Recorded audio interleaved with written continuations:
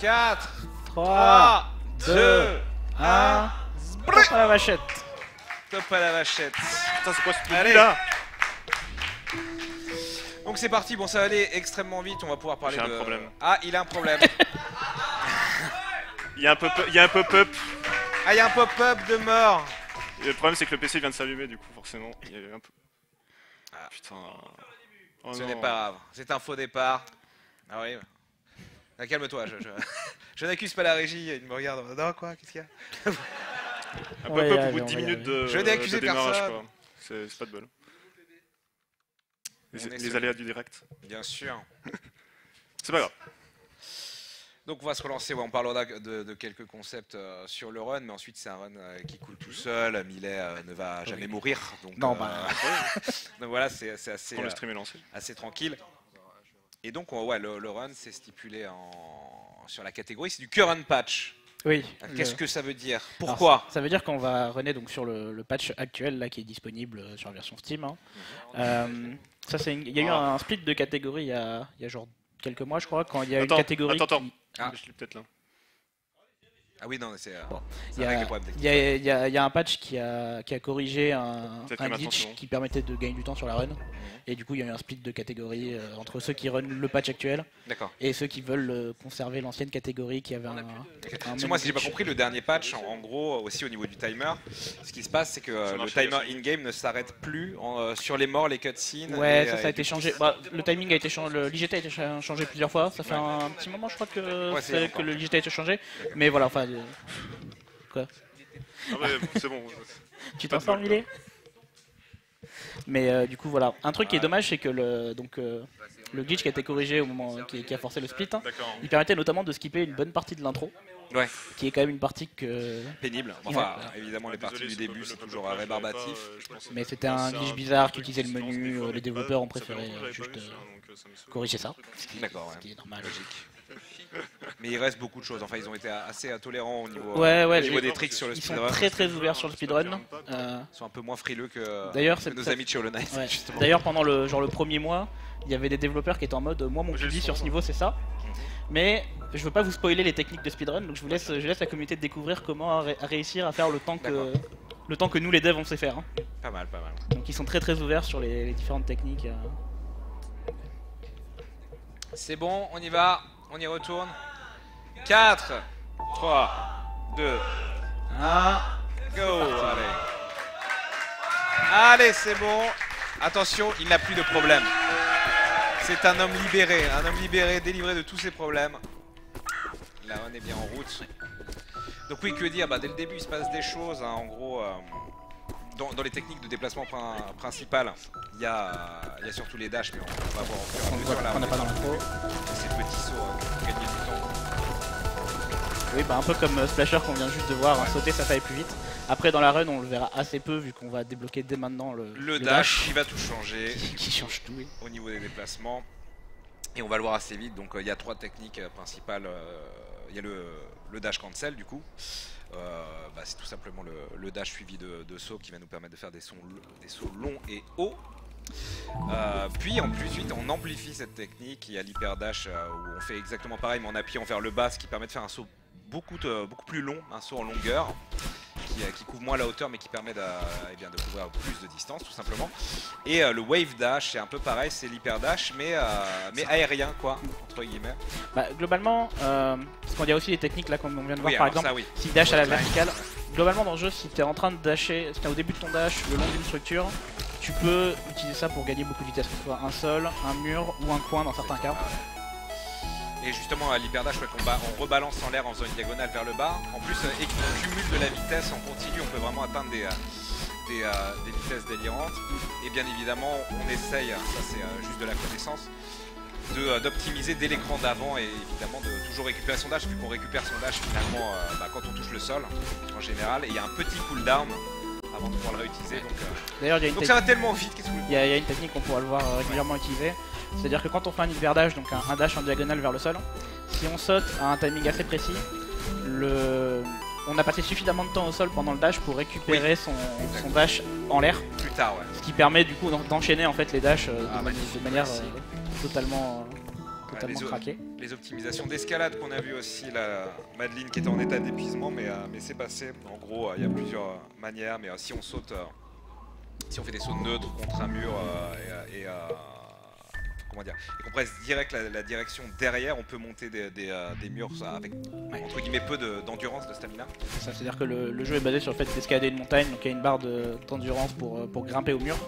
Mais il y a une technique euh, qui permet, donc, comme tu dis, de, grimper une hauteur arbitraire sans jamais. Voilà. euh, si on bourre, on monte très vite, mais s'épuise très très vite également. Alors que là, bon, bah, c'est déjà dans, sur euh, le site ancien et euh, bon voilà, on a activé le miroir et ça, ça débloque la mécanique principale de ce niveau. hein. ouais, le- Dream Blocks, tout à fait. le- cette espèce de gelée de l'espace qui permet de prolonger, euh, de prolonger son dash. Prolonger l'expérience. Et, euh, et qui nous redonne, qui nous redonne, qui réactive hein, le dash à, à chaque sortie et le saut également à chaque sortie de, de bloc. On récupère un dash et un saut, ce qui est plutôt sympathique. Et là, bon, bah, assez agressif et efficace, d'autant plus que oui, euh, c'est une partie normalement un peu pénible du niveau, euh, enfin, de ce niveau directement. C'est la première grande difficulté en casu en général, c'est euh, ces tensions de niveau où on a les, euh, les- les Dark Madeline entre guillemets qui nous poursuivent, qui reproduisent nos mouvements avec un décalage. Oui, il y a plusieurs séquences. Il n'y a pas vraiment de boss dans le jeu, mais il y a plusieurs séquences qui, qui sont des espèces de longs combats de boss. euh. Il y en a un, il y en a un dans, dans trois. il y a trois niveaux avec euh, ce genre de, trucs. Alors on a vu quelques, on a vu quelques, phases de, voilà, de chute longue. Si on, a- on laisse appuyer vers le bas, on, on chute beaucoup plus vite. Ça se voit euh, au niveau de l'animation de ça, ouais, elle s'étire, elle s'étire de plus en plus. Et c'est plutôt sympathique, la musique disparaît et nous... euh, Là, sur, euh, sur cette phase et la phase qui va arriver, on voit bien Oui. l'optimisation des enchaînements d'hyperdage pour. euh, voilà, et vous voyez la- que la, la- voilà, la- il y a une accélération continue qui se fait. Ça va très très vite. Je veux dire, bon, ouais, on prépare bien en amont, sur l'écran d'avant. toujours prévoir des. euh, C'est un truc qui est intéressant d'ailleurs quand tu apprends le jeu. C'est. euh, en speedrun, tu arrives quasiment toujours dans une salle avec de la vitesse. Ce qui change complètement le fait que si jamais tu meurs et que tu dois recommencer la salle depuis le départ, tu n'arrives pas avec de la vitesse et du coup ça peut changer les cycles, Oui. et ça peut changer. euh, T'es un peu obligé d'apprendre les salles de deux manières différentes, quoi. En arrivant avec de la vitesse et, euh, après une mort. Et du coup, ça, évidemment, le, fait de pouvoir charger avant l'écran et de récupérer son dash sur l'écran de derrière, ça permet aussi verticalement de faire des choses intéressantes comme ici. Et nous sommes donc dans la station céleste. Euh, c'est le début des embrouilles, bien entendu. Bon, avec, des patterns évidemment qui sont, qui sont fixes sur, euh, sur ces ennemis qui, sont, qui sont pénibles, mais si on exécute à la perfection et qu'on respecte les cycles, il n'y a pas de problème faut juste être un peu vénère en exé. C'est le cas de Millet. Le record du monde hein, sur, euh, sur Céleste qui est euh, possédé par TGH, qui l'a encore sur Fez aussi. Enfin bref, Un excellent runner. un, excellent runner. sur euh, Die aussi, je crois. Ouais, qui fait, euh, qui l'a donc en 28-41 là, de- ça date du 7 décembre, c'est tout récent. Et, et qui fait également des, des choses un peu folles, qui fait, qui fait aussi toutes les catégories où on doit récupérer l'intégralité de, de tout, euh, les fraises avec les fraises dorées et machin. C'est un peu furieux. Ici. Ici, et pour, pour l'instant, c'est extrêmement propre. Hein, la de. Est-ce qu'on a vu une mort? Euh, Je crois même pas. je crois pas. Il est gonflé à bloc. Ok, donc euh, skip de cutscene ici à Un âge de la salle que Millet aime le moins de tout le jeu parce que c'est vraiment du... la bibliothèque de mort. c'est ça.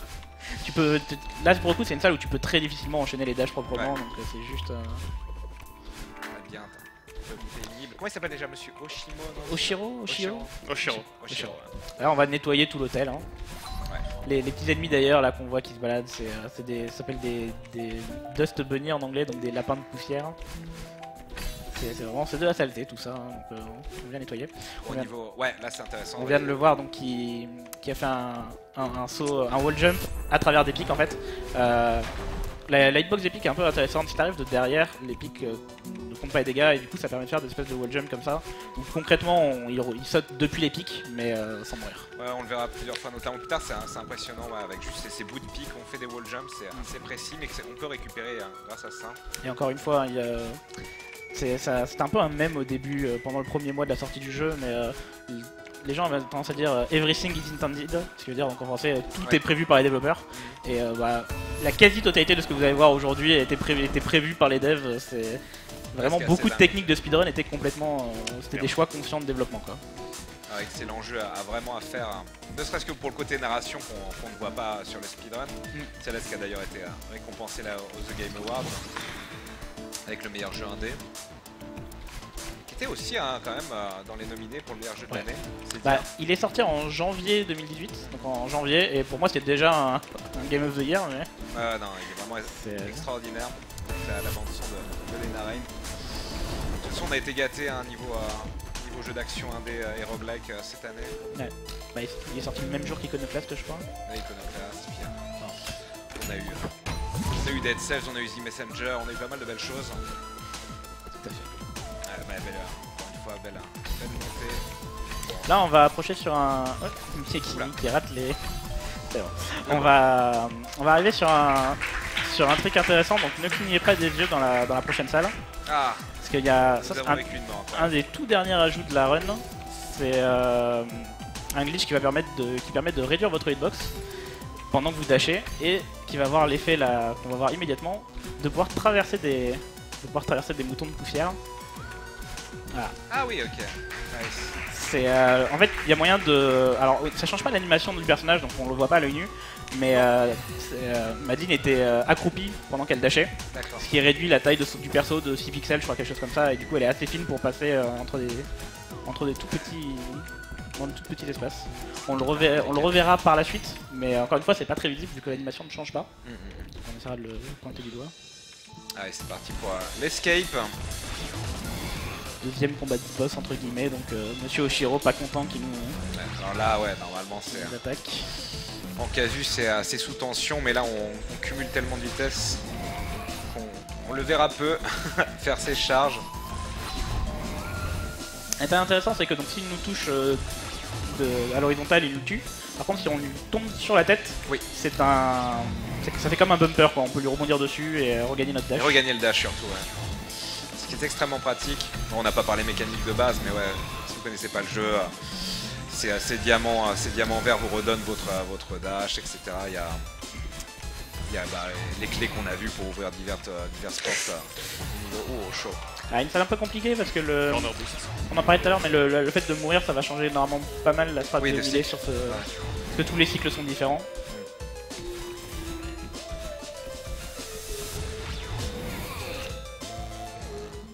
Et c'est bon, joli quand même. On a vu, hein, les premières morts, mais rien d'alarmant, c'est normal. Ça devient bien énervé. On va se diriger vers l'arrêt d'or. Alors que Jean-Marie Larsen rejoint ce run. Tout va bien se passer.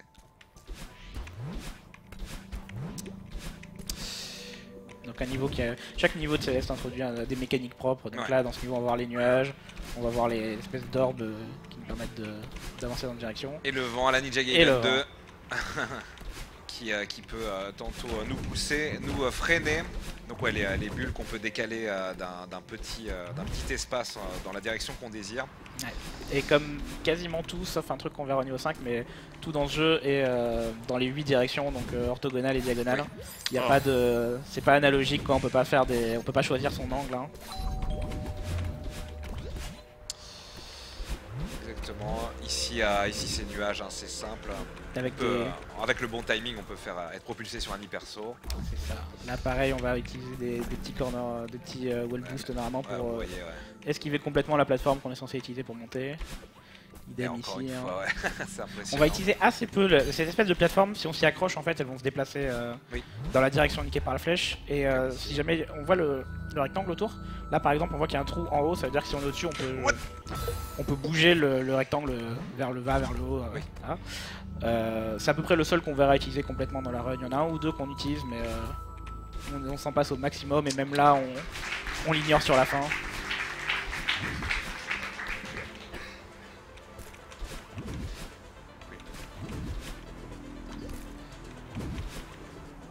C'est rigolo, ouais, on utilise. euh, énormément le, énormément le wall kick, que le, technique que le jeu finalement, euh, de manière un peu sadique, euh, ne vous apprend qu'à la fin.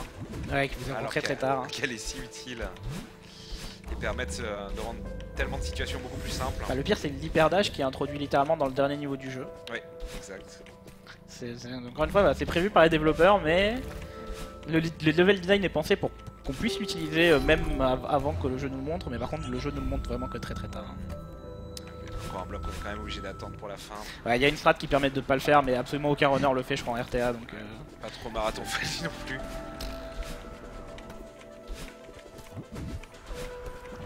Ah, joli ici, le kick encore. Hop là.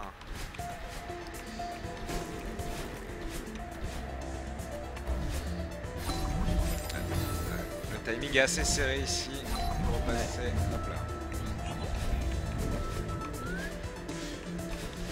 avec l'introduction Ah, des boules de neige. hein. boules de Donc neige. les boules de neige qui sont exactement comme Monsieur Oshiro, hein. si elles vous touchent, vous mourrez, mais si vous leur tombez dessus, euh, tout va bien. et qui, a- qui se situe, enfin qui se place horizontalement par rapport à votre position. Mais bon, il y a un timing à respecter, voilà. Moi, c'est bien, c'est une run. C'est une qui se passe de commentaires finalement. Quand ça vite. se passe bien, ça va très vite. C'est voilà. très visuel, ouais, c'est comme du Meat Boy ou quoi, euh, Euh, ça, en met, ça en met plein les yeux tout seul. hein. Bon, tout- euh, toutes celles et ceux qui ont fait le jeu, euh, de toute façon, euh, savent à, quel point le jeu est difficile et que ce qui est euh, réalisé euh, est extrêmement impressionnant. Oui, bah pour donner une idée, en général, les gens qui ont fait le jeu, qui se disent tiens, je vais commencer le speedrun, je vais essayer de faire 2-3 runs, voir comment ça se passe. Le temps que visent les tout débutants, généralement, c'est le sub 1 heure. Là, Millet, il est plutôt dans les 30, euh, 30 minutes. Ouais. C'est. euh, Il y a un vrai travail derrière, quoi. Alors le temple miroir assez intéressant euh, en speedrun du coup on va quand même euh, rendre ce niveau beaucoup beaucoup plus court qu'il n'est censé l'être. Ah, il a une longue histoire ce niveau parce qu'il y a eu beaucoup de. Il y a, il y a des- il y a- il y a eu des skips très intéressants dans ce niveau et qu'on ne verra pas parce qu'on a trouvé d'autres skips encore plus intéressants. Ah là on l'a vu, hein, là. On s'est complètement affranchi de la, de la boule rouge qu'on devait utiliser hein, et on est passé en, en hyper dash. On est déjà sorti du premier labyrinthe entre guillemets. Et euh, c'est pas la seule arnaque qu'on va voir, loin de là. On va bientôt arriver au hit. Sauf que les runners aiment bien parce que. Ouh Hyper vitesse Voilà, ce saut s'appelle le hit. Et, euh, il est très très visuel. Si vous aimez, si vous aimez ce genre de choses, d'ailleurs le TAS de Céleste a plein plein Oui. plein de, de salles où la vitesse accumulée devient vraiment absurde. Et donc là, on va découvrir une nouvelle chose du jeu, Eh oui, c'est les cassettes. comment ça se fait qu'on fait les cassettes Me direz-vous? Eh bien, donc euh, les cassettes, ça permet de débloquer donc les faces B des niveaux. Donc tous les niveaux ont plusieurs faces, la face A, la face B. euh. Euh, il s'avère que finir une phase d'un niveau, ça suffit à débloquer le niveau suivant. Et donc là, dans la run, en fait, finir le niveau 5B, ça va être plus rapide que de finir le 5A euh, sans prendre la cassette. D'accord. Du coup, donc le 5B, qu'on soit clair en casus, c'est un niveau qui est beaucoup plus dur que le 5A.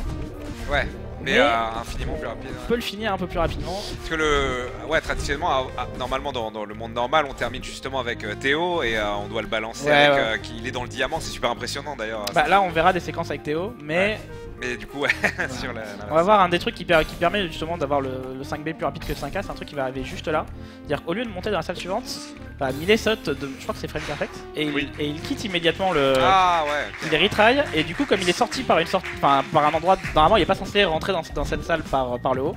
Quand il a Ouais, retry, le jeu l'a remis à la sortie la plus proche, qui lui permet de skipper complètement, aller chercher des clés, des trucs Ah, comme ça. merde.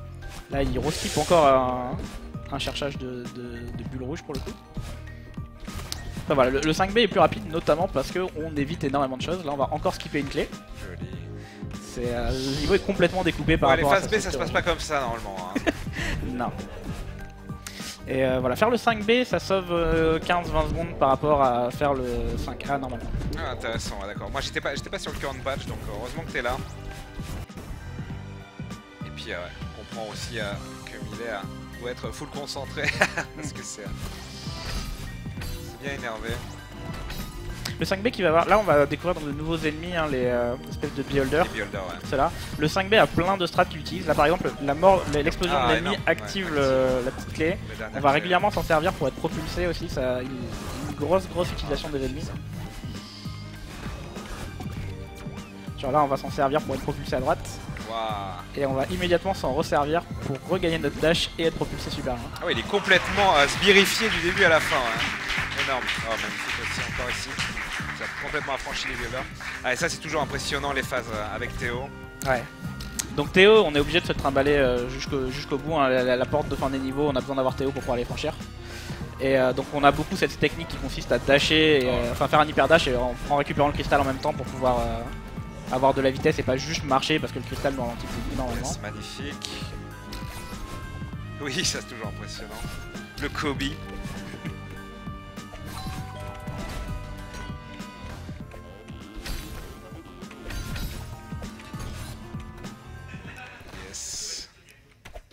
Et donc voilà, la fin des, la fin des phases B qui se finissent pas comme. euh, Là du coup on n'est pas dans un niveau histoire donc ça se finit ici juste en allant chercher un. Allez Excellent. ouais. Ouais. Très très bon 5B. Très intéressant.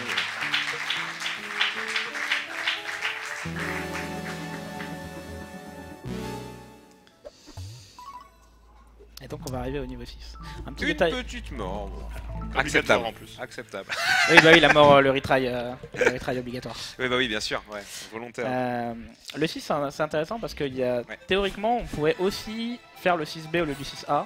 Je crois qu'en théorie ça sauve 5 secondes, mais aucun runner ne le fait parce que le 6B est beaucoup plus dur Oui, que le 6A ouais, et puis il c'est faudrait apprendre toute la route. euh.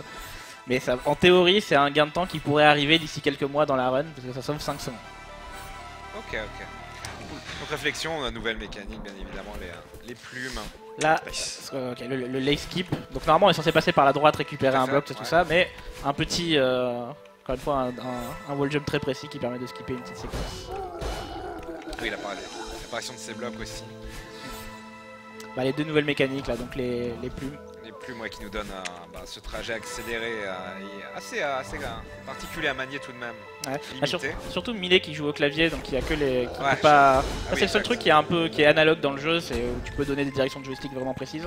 Le fait que Millet joue au clavier, ça handicape un tout petit peu sur ces sections. Ah, là, c'est le clavier. Midboy aussi, hein, d'ailleurs. C'était au clavier. Et voilà, ces blocs qui peuvent nous permettre de, de gagner énormément de vitesse quand on hyper dash à partir d'eux.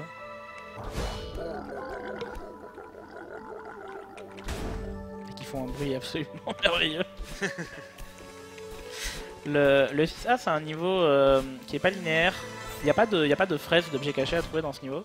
Et du coup, toute la première partie, on peut voir de temps en temps qu'il y a des sorties, il y a, il y a plusieurs sorties à chaque salle. Oui. C'est vraiment au niveau du routing que tu choisis. Tiens, est-ce que je vais passer par la partie du haut, la sortie du bas What?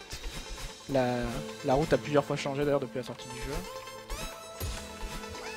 Surtout, il y a le, le moment que tout le monde attend, c'est la confrontation hein, Mm. avec Dark Madeline, qui est toujours hein, Le, le vrai combat de boss. très sympa à voir. Oui, un des rares.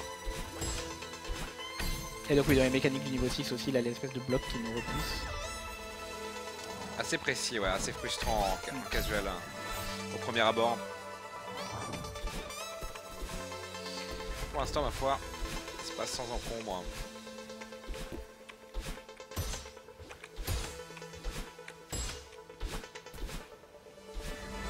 Ah, c'est propre, hein C'est tranquille.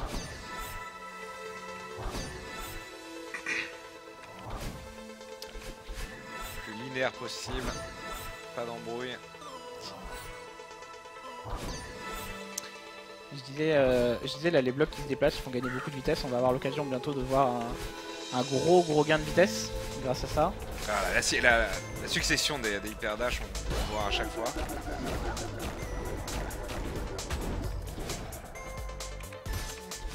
Là, pareil, le level design gentil, hein, il y, a des- il y a des trucs qui Ouais. permettent de passer à vertical. C'est pas comme ça que t'es censé passer normalement, mais euh, les développeurs ont mis euh, des, bons, des bons petits repères pour bien se caler. Ça fait gagner quelqu'un un petit peu de temps.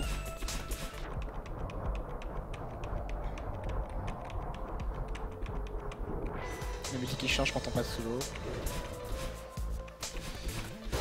Voilà, Ne clignez pas des yeux dans cette salle. ce petit brouillard de guerre. Sinon ça va aller vite. Et oui, la vitesse accumulée. Et du coup, elle prend cher direct. Et donc le combat de boss. Ouais. Je disais tout à l'heure, ouais, le, le, le TAS, euh, et notamment dans le, dans le 6C, il, il, accumule, il accumule encore beaucoup plus de vitesse Oui, grâce à ses blocs. C'est complètement ridicule. Si vous devez voir un niveau du TAS, allez voir le 6C. Et du coup, donc le combat de boss, hein, chaque, à chaque fois, le, le truc c'est juste d'arriver à la toucher. Normalement, si on est plus lent que ça, elle a le temps de nous faire des attaques. Oui, ouais. ce qui est pénible. Hein. Mais euh, Millet va pas être trop dérangé normalement par ce genre de choses. Des gros tirs de blaster, ouais, elle vous lock, euh, ou ces boules là, ouais. Ouais, elle a des, petites, des petits missiles comme ça, elle a le rayon laser. Mais ouais, elle a pas trop le temps de s'exprimer ici. Surtout qu'on récupère le dash évidemment à chaque touche. Oh, oh, Ah bah un laser. ça va. Voilà. Ah, voilà, le fameux coup de blaster. Hop. Et on s'a- voilà, ça- Bien sûr, évidemment plus rapide de s'affranchir de la plume. Hyperdage donc qui permet des stratégies complètement débiles où on passe par deux par, en, par en dessous de chaque plateforme. hein. Sale encore. C'est évidemment pas les trajectoires prises en casual.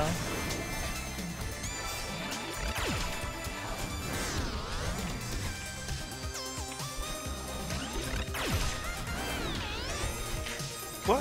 Oh ouais, l'hyper dash qui est- Elle est Aïe. directement là. La dégonade, on a perdu une input.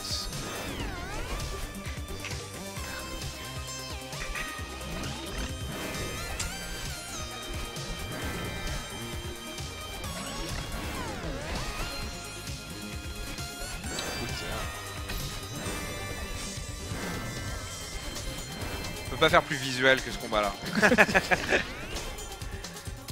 C'est vraiment kiffant à regarder.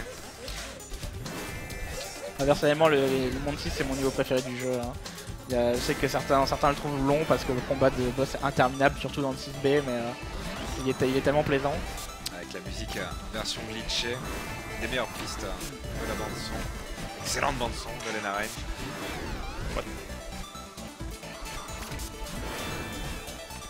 Finalement. Les éléments amovibles sont là, mais bon, vu qu'il y en a tellement, finalement ça, rend le, le tout encore plus rapide. Sérieux Ah, dommage Il y a une mort par rayon laser finalement. Profitez-en, ça n'arrive voilà. pas souvent.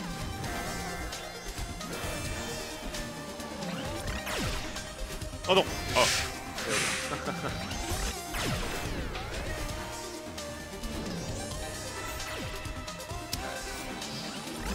Le corridor des, du stress. Hop.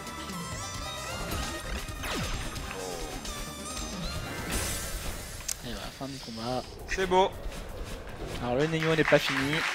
pas encore. Attention spoil. On récupère donc le, le double dash maintenant à partir de, à partir Oui. de là. Le level up. Ce qui va, ce qui va accélérer encore plus le Oui. des choses.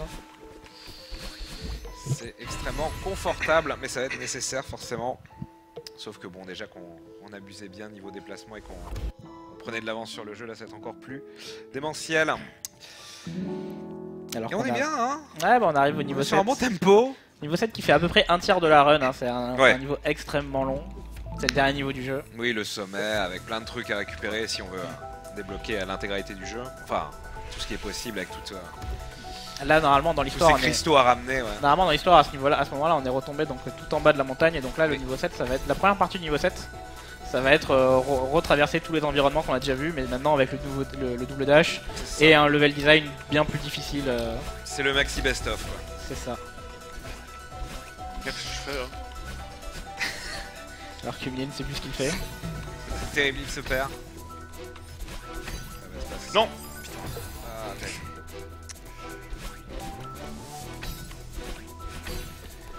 C'est la pression qui est retombée d'un coup, faut se remettre dedans.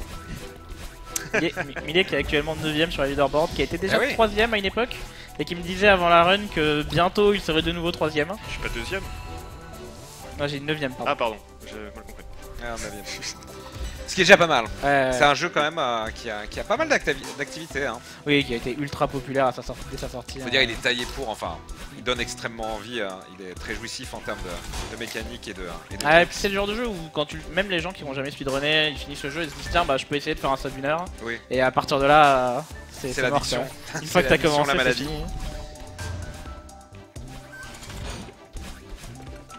Ah, le speedrun. C'est une maladie, mais euh, faire de belles choses avec. C'est une maladie positive.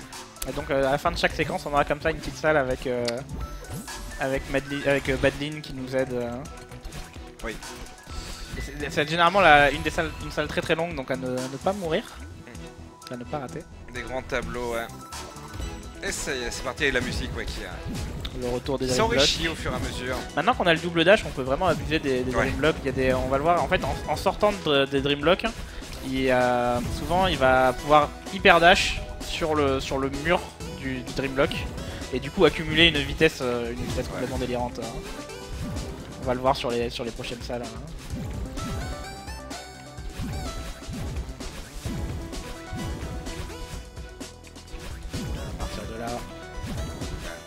Bien qu'il qu'il hyper dash à chaque fois en sortant.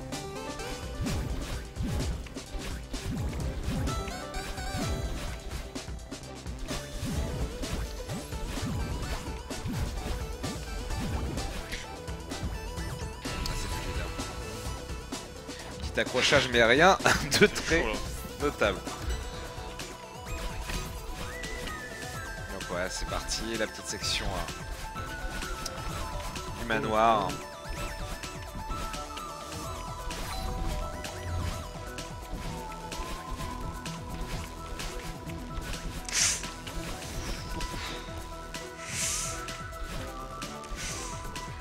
Peut avoir le cœur fragile. Fire, ouais. J'ai me suis très, fait très peur là.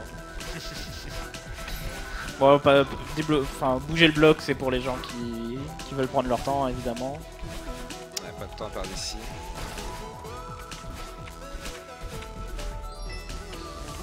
Le petit passage. Ah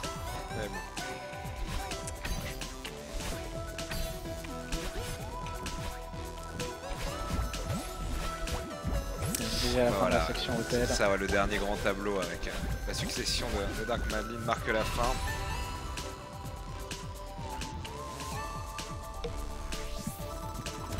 On en a pas parlé, mais d'ailleurs, le Millet pour ses binds. euh, Enfin, alors je saurais, je saurais plus dire exactement, mais il, il a, il a genre deux touches bas, dont une qui est bindée sur la même touche que, que le menu. Enfin, il a Ouais. deux touches de saut. Bref, il a un binding très particulier, comme beaucoup de runners de Céleste. Et notamment, ça permet d'avoir un menuing un peu plus efficace, euh, histoire d'être direct sur le, le retry pour, Ouais, pour skipper les cutscenes. Ce qui se faisait ouais, sur d'autres jeux, bah, notamment Meat Boy, on pouvait le faire aussi. Ouais, euh, tout à fait. Tous ces jeux où on a besoin d'être très apprécié et vif sur les, euh, certaines inputs. Combiner aussi et faire des combinaisons de boutons.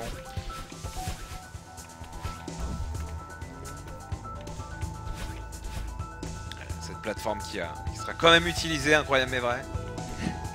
De temps en temps on utilise. Dans une certaine mesure, quand éléments même, du on va pas l'utiliser jusqu'au bout non plus, Voilà, faudrait pas abuser.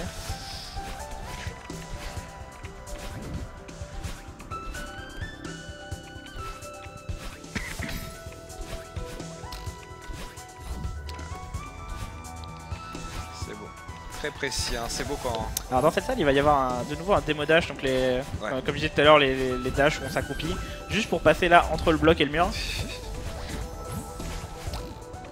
C'est encore un petit gain de temps qui permet d'éviter complètement un bloc. euh.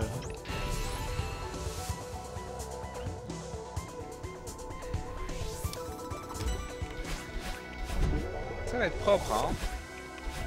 On est vraiment sur de belles bases. Elle est le remake, euh, enfin, l'hommage au temple miroir. Balayé, avec, ces, avec ces blocs qui se déplacent donc quand on, quand quand on on dash. dash, ouais. Et ici un, Ah, c'est parti. un petit skip pour choper la clé, euh, pour choper la clé sans avoir besoin de faire toute la section. Avec le Death Warp, ouais. C'est beau. Dans le genre, les devs ont tout prévu. Là, le- on a vu qu'il y a un passage côté droit et un passage côté gauche pour aller chercher une fraise. Le passage côté droit était exprès fait avec les pics juste comme il faut pour pouvoir faire ce, ce truc-là. C'est euh, limite, il tue le fun, les devs ont tout prévu. Là, le door skip, Ah oui. qu'il fait, encore, fait une fois avec des démos dash. Hein. Ouais, euh, c'est c'est un peu un mème de la communauté. C'est un... On le faisait déjà avant d'avoir le démo dash, donc c'était beaucoup plus compliqué à l'époque. Et euh, c'était un gros gros risque à prendre. Ah putain, Qui c'était sauve. chaud. qui ne sauve qu'une seule seconde. Du coup, pendant très longtemps, ça a été un mème de la communauté. C'était le, Oui. le risque reward le plus mauvais de la run.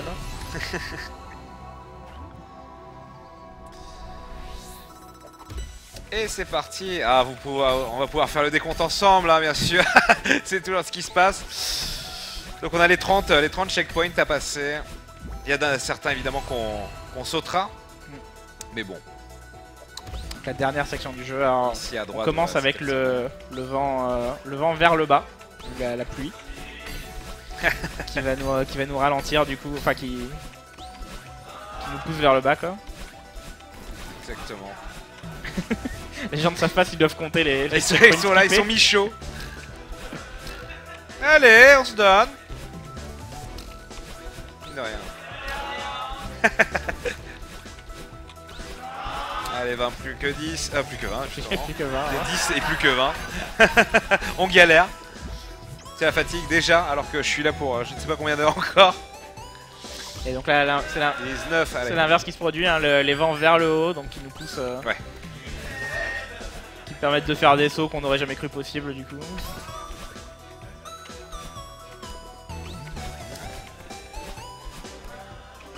C'est sympa. C'est là que le jeu euh, trouve logique euh, de nous euh, introduire le, le wall kick du coup. Dans le 7B. oui, dans le B. 7A. Ah oui, c'est vrai que c'est dans le B, ouais. C'est- encore beaucoup plus loin dans le jeu qu'on découvre ouais. le wall kick. hein. Là, on se démerde. Alors que, ouais, ici, il y a, il y a beaucoup d'occasions de l'utiliser. Mais ouais, c'est c'est certainement pour le même.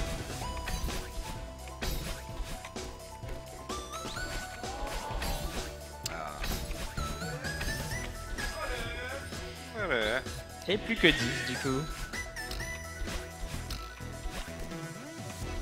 Champion. C'est bon. C'était validé. On passe le 8 du coup. On a évité le 8, on arrive au 7.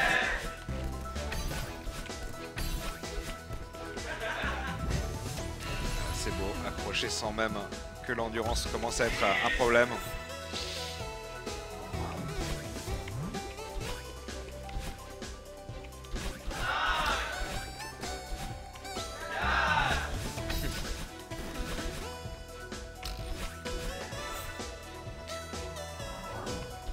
30, on vient juste de passer le 30, euh, le 30-11, hein, donc euh, Millet était quand même vraiment très très près de son PB sur cette run. hein. Parce que on- la, la run est timée en IGT, hein, on peut voir en haut à gauche de l'écran là qu'on est à 30 minutes 28. Ah, c'est vraiment très très propre.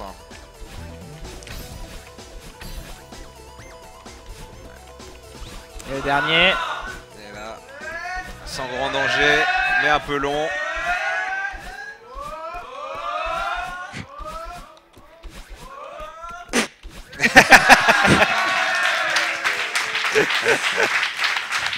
Alors le, le, le timer ça va être là, mais euh, je sais pas si Millet va nous montrer quand même le, der- le dernier écran. Si, si. Ouais.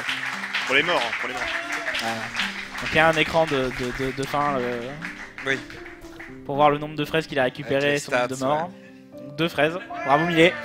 Énorme. Non, mais C'est le lot pour carte.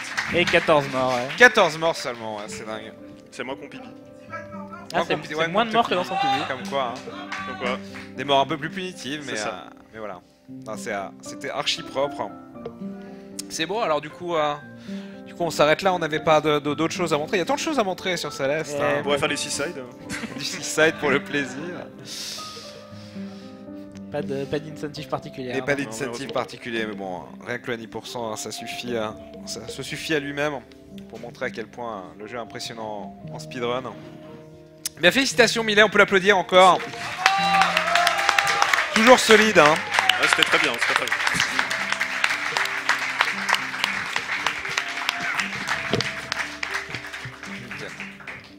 Encore merci Millet pour cette magnifique, magnifique run de Céleste. Un grand moment de ce marathon. Euh, beaucoup d'émotions. Je, je suis, voilà, je suis obligé de le dire. On vient de vivre un très très beau moment et on est très fiers à Bourg la Run d'accueillir ce genre de run. En attendant que Xavier vienne me rejoindre euh, au desk quand il aura fini de comment dire socialiser, je vais tenter de dire. On va lire quelques dons qui sont tombés encore. On a, euh, on a, on Aurélien euh, qui fait un don de 10 euros pour payer ma dette envers les runners pour une commande de pizza ratée.